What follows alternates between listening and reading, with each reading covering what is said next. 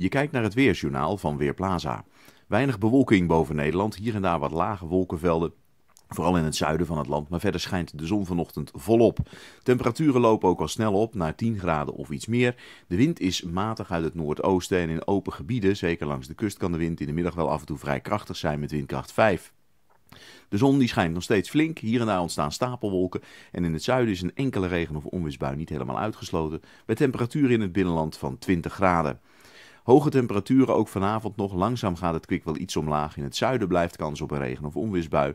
De rest van het land is het droog met een doorstaande wind. Voor de nacht betekent dat ook niet al te lage temperaturen, hoewel het in Groningen misschien al kan afkoelen naar 3 graden. Morgen wordt het 12 tot 16 graden, nog altijd kans op een regen- of onweersbui in het zuiden, met een stevige oost-noordoostenwind en veel zon in Noord-Nederland. Die zonnige perioden gaan het winnen voor de woensdag. Dan is het overal droog. Slechts 12 graden gemiddeld in het land, met in het zuiden nog wat hogere temperaturen. En de dagen daarna gaat het kwik verder omlaag. Mogelijk valt er vrijdag lokaal een buitje in het binnenland. Verder is het droog met veel zon. Ik ben Marco Verhoef van Weerplaza.nl